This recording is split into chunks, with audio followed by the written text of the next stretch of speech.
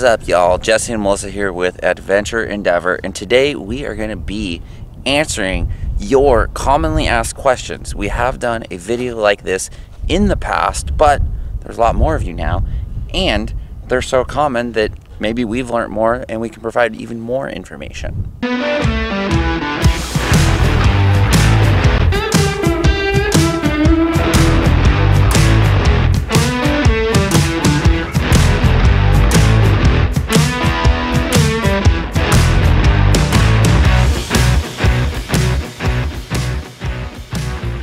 Hey Melissa, Yeah. have you met anyone RVing full time with kids before?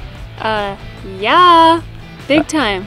Everywhere, actually, we run into people full timing with kids. It's incredibly common nowadays, uh, especially with like homeschooling options and remote working availability. It's become a huge thing. People love traveling with their families. We've met so many. Our very first friends we met on the road, they were actually a full time family.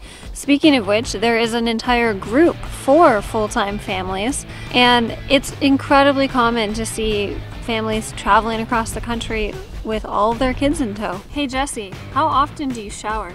It really depends. So we typically shower, I mean, it really depends on what we're doing. Activity level is the biggest thing. If we are working out, mountain biking, hiking, doing a lot of that stuff, we might shower every day. Although very quick showers might be every day. And with our new travel trailer, we could do about one week of that if we're taking extremely fast showers.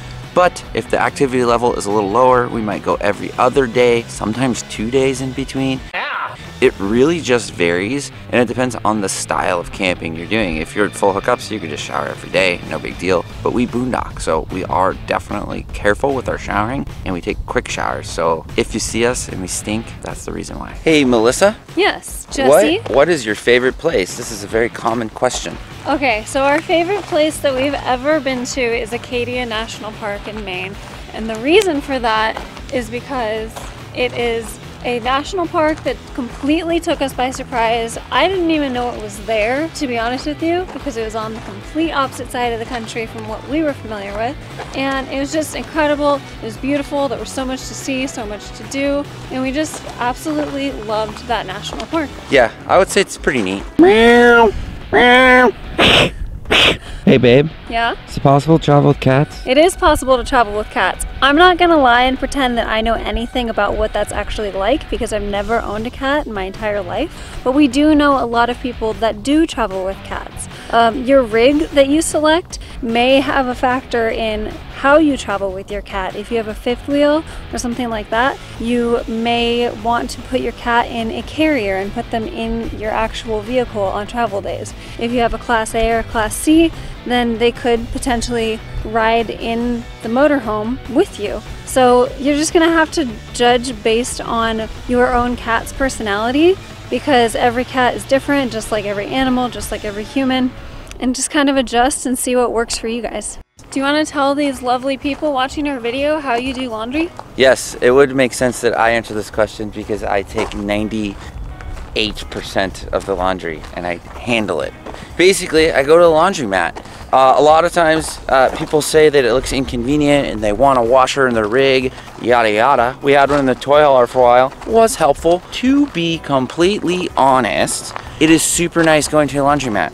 You bring all your sheets, all your towels, all your laundry, one and done. Typical guy fashion. I just shove them all in the machine and just kick the door closed, throw some detergent in there, let her rip, throw it in the massive dryer, all done at once. And uh, it's quick and it's easy. Lots of times I'll, I'll leave the laundry because I'm sketchy like that and I'll go run errands while it's working too.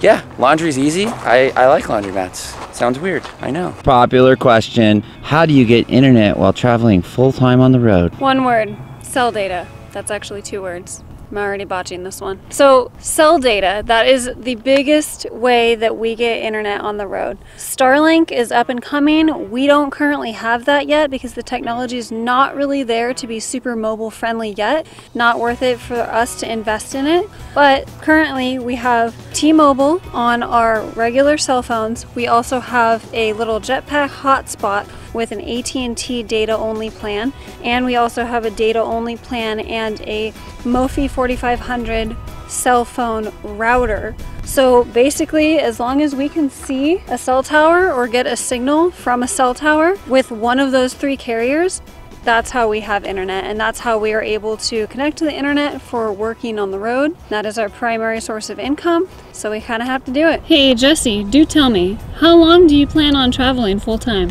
This is a question we get quite often, and to be completely honest, we do not really have a start or end date. We just keep doing it if we enjoy it. That's the plan. We're going to do it as long as we are still enjoying it. It might change throughout the years, but overall, we're happy, we're having a good time, and we don't plan on stopping anytime soon. Melissa? What's up? How do you get mail while you're on the road? This is a good question. That's a really common one that we get. Um, currently, we signed up for a post office box type of a service. So we are South Dakota residents now. We just became South Dakota residents in 2021, and we signed up for Dakota Post. Um, there's a couple others out there. Um, Escapees offers a mail service, as well as what's that other one? America's Mailbox. Um, that one's also in South Dakota, I know for a fact.